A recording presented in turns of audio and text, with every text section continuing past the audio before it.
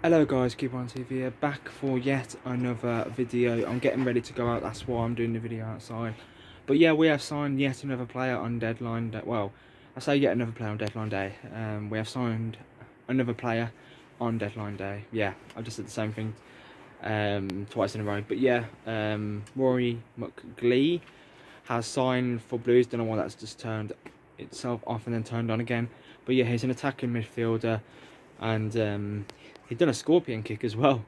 I mean, when he was um, announced, you know, just a slight scorpion kick. Yeah, he looks a good player to be honest. Um, he's Australian, um, so yeah, another player that we've signed this transfer window. That's definitely going to be the last player that um, we're going to be signing in this transfer window. There's no way we're going to bring in another player. I mean, Jack is leaving West Ham, uh, so he's available on a free, well, available, yeah, as a free agent. Would you guys take him? But yeah, another midfield signing as well. Leave your thoughts down below in the comment section.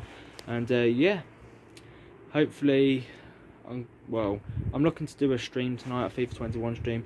I might not do uh, a transfer deadline day stream, but yeah, welcome to the club, Riley McGree. Hopefully he does well.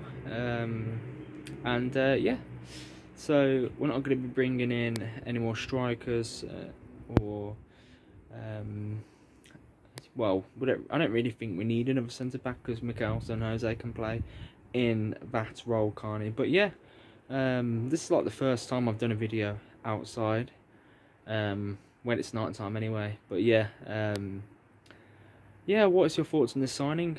Um, and uh, yeah, I didn't actually think was going to bring anyone in uh, on deadline day, but we brought in a player.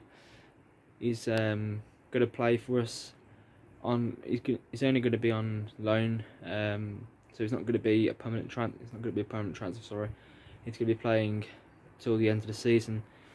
Um, so yeah, he was playing in the Australian League last season.